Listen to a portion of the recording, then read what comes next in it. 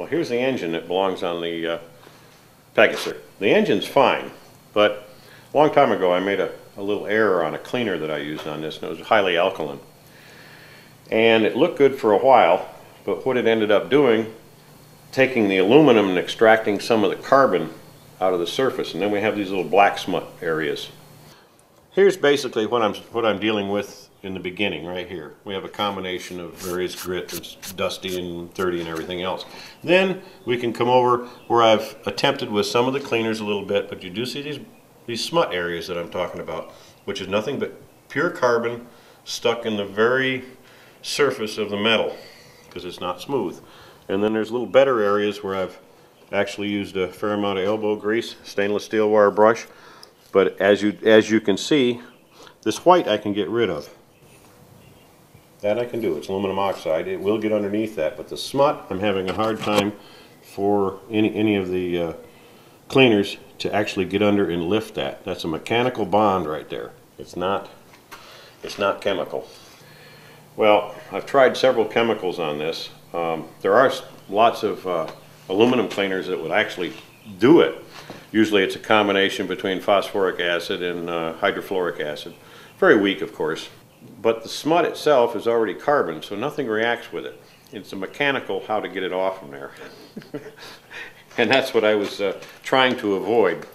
Well, I've shown you this, but I just did, I've, I've blocked off the exhaust ports and the intakes, and just a little bit right in here, I have bead blasted this. And this is exactly the finish I would like to see when I get done. But I only did one little area before I block off all the parts and pieces. Then if you bead blast it, then we're going to lose the finish on the nuts and bolts and everything. That's glass. And even though you may block off all the ports, intake, exhaust, uh, the water jacket, there's going to be some very fine dust and it's fractured glass. So washing it, one has to use a good detergent, not soapy, but extremely good detergent. Actually, Tide works really good because it doesn't leave too much residue. Uh, in the attempt to clean this, I've tried a few things in little patch, little test places, and I haven't destroyed anything yet. So far, the acids seem to work the best. Uh, here's a, an aluminum Alumiprep 33. Basically, meant, again, it's pretty much meant for um, your extruded instead of your cast aluminums. But let me get this working here a little bit. Get a little water on here and we'll, I'll do this on a much larger scale once it's time. Okay, well let this, let this sit, see, see we're getting a little reaction there. Now we've got, we broke through a little, you know, surface. And then you can take, you can take a wire brush, stainless, and agitate, which helps break the surface loose. And then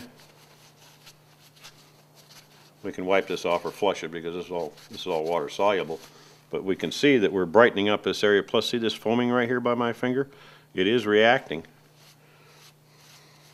And it reacts better on this machined area than it does on this sandcast area.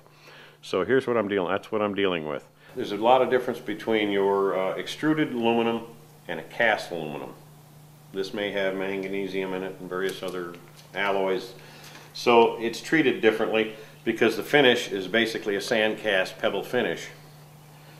And um, actually one time uh, Simonized concrete cleaner for a pressure washer.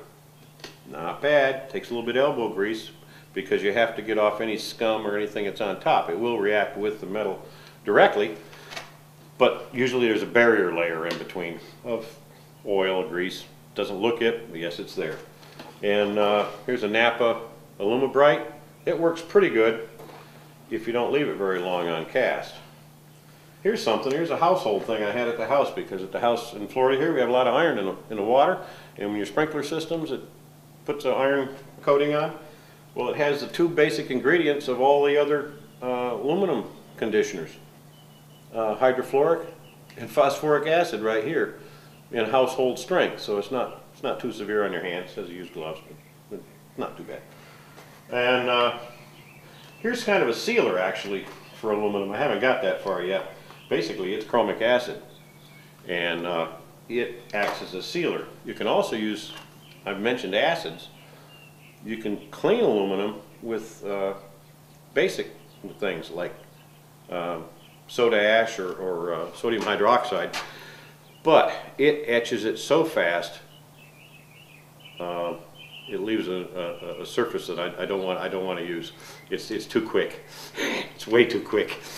And it's so complex a surface, you couldn't keep ahead of yourself trying to do it. So that's where I am with this so far.